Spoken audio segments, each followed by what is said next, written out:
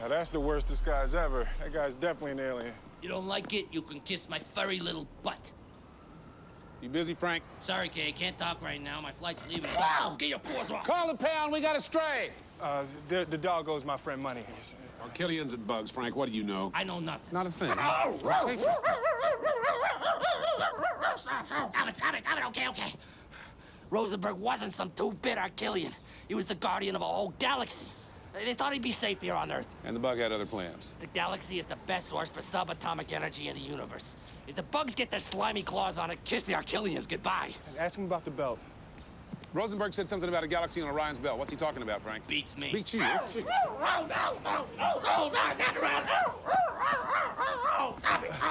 Uh, they're rehearsing a ventriloquist act.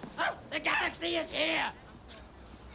What do you mean here? Galaxies, hundreds of millions of stars and planets. How's it here? You humans, when are you gonna learn that size doesn't matter? Just because something's important doesn't mean it's not very, very small. How small? Tiny, like the size of a marble or a jewel. Now, if you'll excuse me, I gotta be walked before my flight. All right, get out of here.